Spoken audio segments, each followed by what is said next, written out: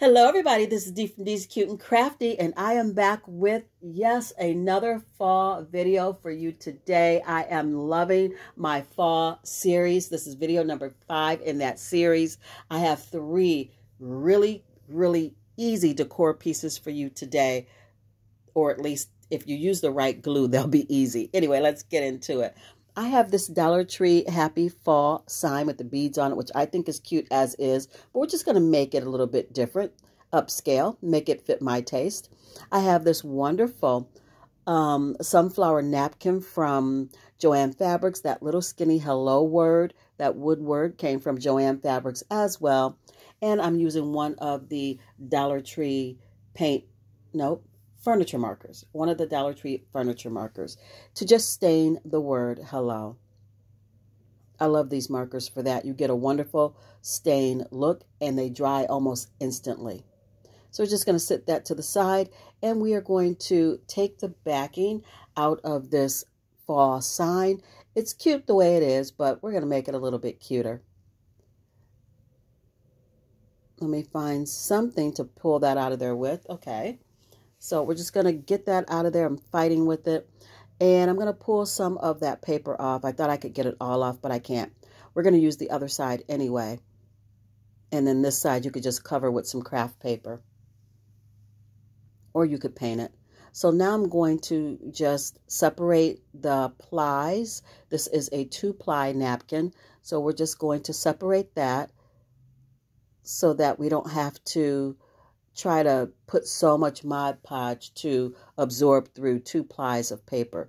If you have napkins that are two ply, even three ply, go ahead and separate that. It makes this process so much easier.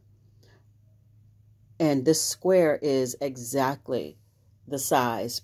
I mean, like pretty much exactly the size of the sign. There's only a tiny bit of overhang. So I'm going to take my Mod Podge, and I did go in with my um, white chalk paint. Any white paint will do. And I painted the the um, the wood. It's not really wood, the MDF board, because I wanted the paper to pop. I didn't want to leave it brown because I wanted it to really stand out. And if you leave it brown, you get kind of a brown kind of look to your paper. But if you paint it white, it makes your paper stand out a little bit more. Whatever napkin that you're going to Mod Podge onto, that white shows through, adding a little bit of light to your paper. So I'm doing all the tricks that you guys told me about. I'm using the plastic wrap to smooth this down to keep my fingers from ripping the paper and giving me more wrinkles. And I did get some wrinkles anyway, but it did look better than it normally looks when I um, Mod Podge. My Mod Podge game is not on point, but yet I try. So I'm just going to sand down the edges, getting that little bit of extra paper off of there. And you guys, let your piece dry completely before you sand it. Mine wasn't completely dry, and my thumb actually got stuck to the paper. Luckily, I did not rip it. So let your piece dry. So now we're just going to put that back in there. I'm telling you, this does not get any easier than this. And the piece is really very cute. It's a nice fall sunflower piece. So here's the part about using the right glue. I tried to wood or hot glue it on because that isn't actually wood around the edges. It's that waxy kind of vinyl paper. And so, yeah, I ended up popping that word right back off there while I was doing my glue cleanup. Then I peeled all the glue off of it and I hot glued it back down and it popped off again. And I said, okay, I'm over it. This is supposed to be a quick and easy DIY, and I'm fighting with this glue. So I just went straight to my super glue gel glue and had no issues. So just use super glue gel glue. Don't even try to use the hot glue if you have that waxy kind of vinyl feel around the edges of your um, sign. Then I went back in with two of the Hobby Lobby wood leaves. Those are really pretty little wood leaves that um, Hobby Lobby has in the little wooden tray. And I just popped two of those on the um, corner of the hello word, and she is done. Very simple, and very cute. I love this for fall. Sunflowers just, I don't know, remind me of end of summer kind of fall. So I still love sunflowers for fall and I decorate with them for fall. And this was a quick and easy piece. I hope you guys try it out.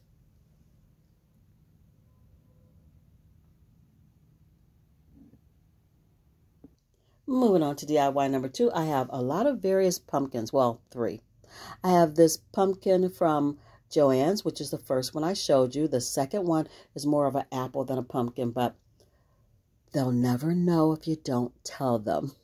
And then the last pumpkin is from Hobby Lobby. It came on this white skewer or this white metal stick. And I just unscrewed that and took it off. I'm going to be using the Rust-Oleum um, chiffon cream and I'm also going to be using the Waverly Mineral Chalk Paint. So we're going to start out by painting this apple pumpkin that I picked up from Target last year in the Mineral Chalk Paint by Waverly. This whole DIY was inspired by that little tiny pumpkin from Hobby Lobby. I thought this is so cute. Let's see what color paint I have that I can kind of match this up with and do a really simple neutral pumpkin decor piece that stands on its own. And this turned out so pretty. It's very elegant and I love it. Very simple. It doesn't take a lot um, to get this look and I thought it was really pretty. So I painted that middle pumpkin that I told you I got from Joann's with the pieces that stand up, the little um, ridges. I painted that with the chiffon cream and then I painted the pieces that stand up, those ridges in the Waverly Mineral. And then the the apple that we're turning into a pumpkin, I painted that with the chiffon cream on the edges of it because it's thick and chunky.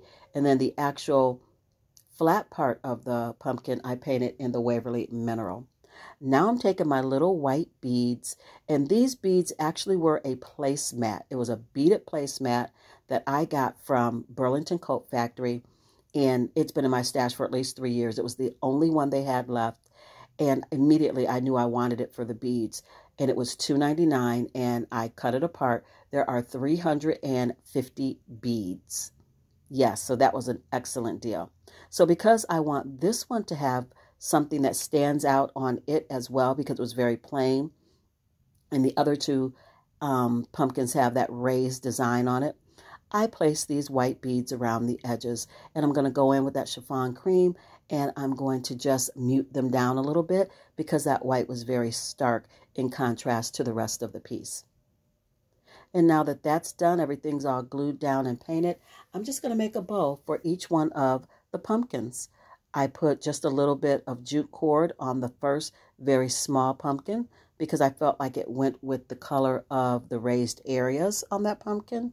And now I'm just going to take a piece of the chevron ribbon. It was very wide, so I cut it in half and just made a bow for that second pumpkin that I picked up from Joann's um, probably last year. And then that third apple pumpkin that I got from Target, I'm just going to use some of the farmhouse lace from Dollar Tree. And this piece is gorgeous. Very simple, very simplistic looking, but it also looks high end and elegant. It stands on its own. And if you're into neutral decor, then this is the piece for you. I'd like to take this time to welcome everybody to my channel, all my new subscribers, all my ride or dies. Thank you everybody for being here today. Love you so much. Thank you. Look at that. Isn't she gorgeous? I love how that one turned out. Now, is it my favorite of the three that I'm going to show you today? Nope. If you'd like to know which one is my favorite, you're going to have to keep watching. And as always, comment down below. Let me know which one is your favorite of the three. I would love to hear from you.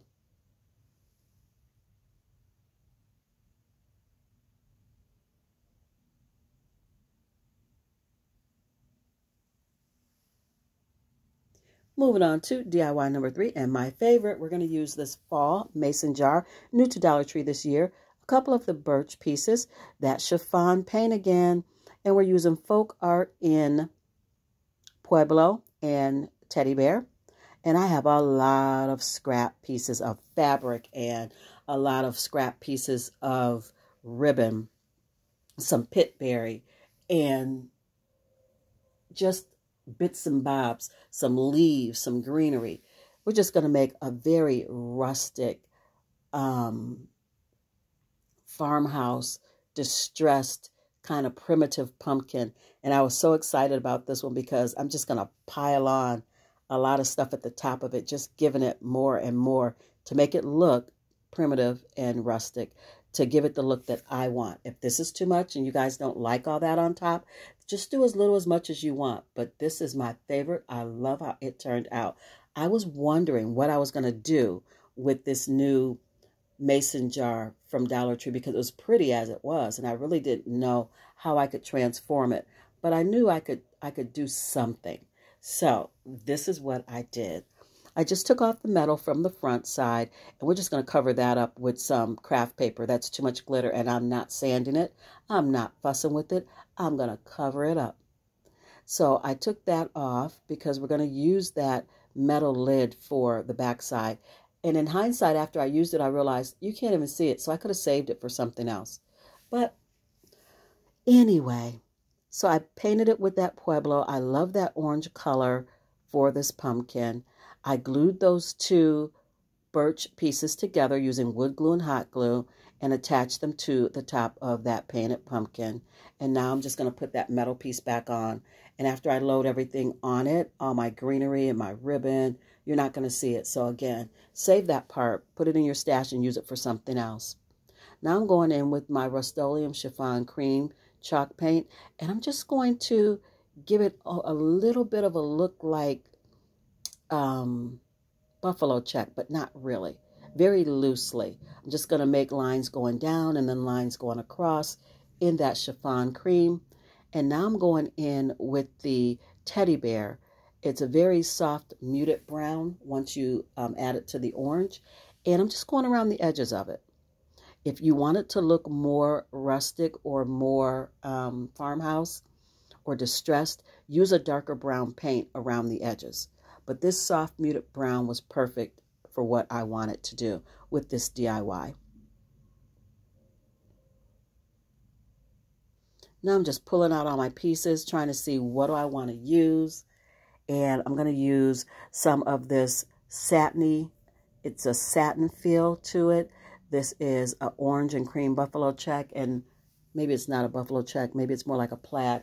And I don't remember where I got that from. Not sure. It's been in my stash. Going to use some more of that chevron that I used in the previous DIY, and that came from Hobby Lobby. They do have something very similar at Dollar Tree, except it's not as wide. It's a little, the width is a little bit, um, I don't know, less. So I'm going to use some of that after I cut it down.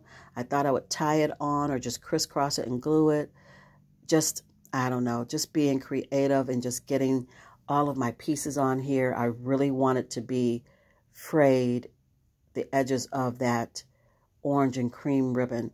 I ripped that instead of cut it. I just put a little cut in it and then just ripped that ribbon. Because it's a silky texture, it did rip just fine, but I wanted that frayed, ragged look.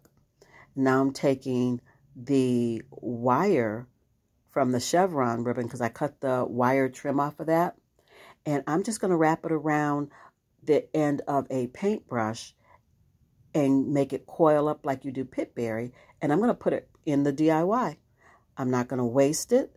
I like using the wire and it's giving me more texture. And so I'm going to put it right back on there. I'm going to put some pip berry on there, some of the little cream colored sunflowers, just anything and everything. This is a good way to go in your stash and use up all your scraps, you guys, because you get something beautiful like this from scraps.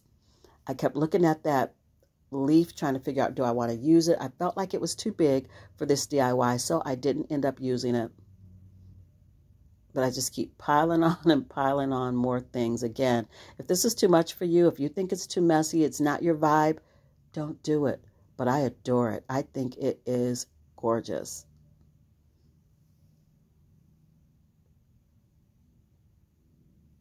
Putting in some little greenery stems. Keep trying to use that leaf. it's not going to end up on here. Now I'm putting in my little sunflowers.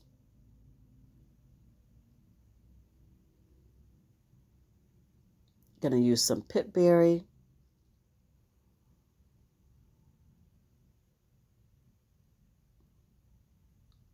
And now I'm going to take that brown craft paper and I'm just going to write, hey there, pumpkin. And I just cut that out to look like a tag and threaded some jute cord through the top of it after I punched a hole in it. And then after I write what I want on my tag, I'm going to go around the edges of it with some Waverly Antique Wax to make it look old and distressed and more rustic. And then to make it look even more distressed and rustic, I'm going to crumple it up. I want it to be wrinkled.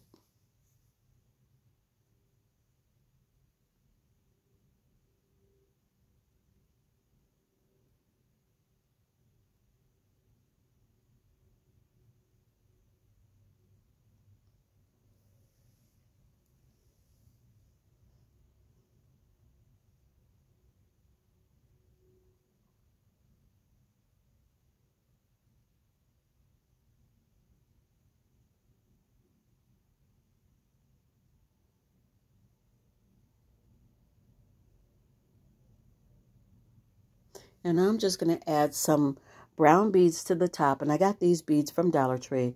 Just going to add a few little beads to the top. And then I am going to add this to the stem of the pumpkin. Hot glue it in place where I want it. And she is ready to be displayed. And I think she turned out adorable. Hands down, my favorite of the three. You guys don't forget if you're enjoying this content, please like, share, comment, and subscribe if you haven't. Give this video a thumbs up so that YouTube knows that you're enjoying my content and they share me out. And if you have a minute and you'd like to share this video out to friends and family, I would greatly appreciate your share as well.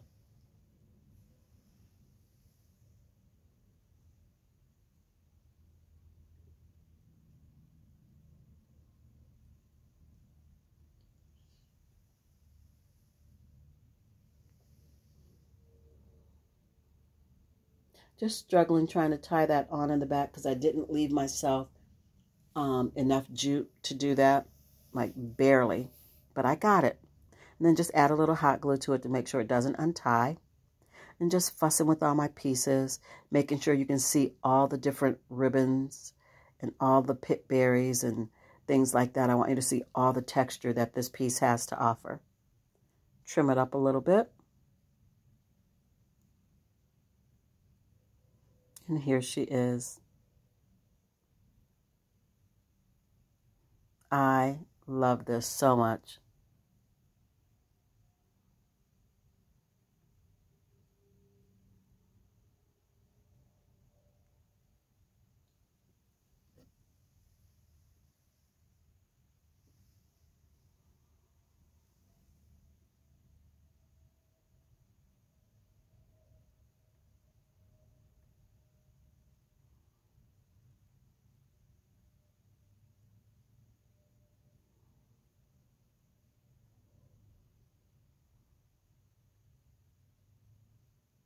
Here's the final reveal of everything that I've made for you today. I think it all came out really cute. I love it, and I hope you guys do too. You guys, thank you so much for everybody that watched my last video, series number four, and commented where you're from. Oh my goodness, it did my heart it, it did my heart good just to see where everybody is from, to read all the comments. Oh my goodness, you guys are from far and wide. This YouTube thing is something else. I mean, you can reach so many people from so many places, and it's just amazing. I'm always surprised every single time when you guys say where you're from, I'm like, oh wow, they're watching me here, they're watching me there. Thank you. It's it's just amazing to me. I don't think I'll ever get used to like all the different places social media. It's everywhere. It's just mind blowing. I love it. Thank you so much for letting me know where you're all at. Thank you for watching my video. Thank you for being here today. Always blessing. Always a blessing. Craft something beautiful. Bye.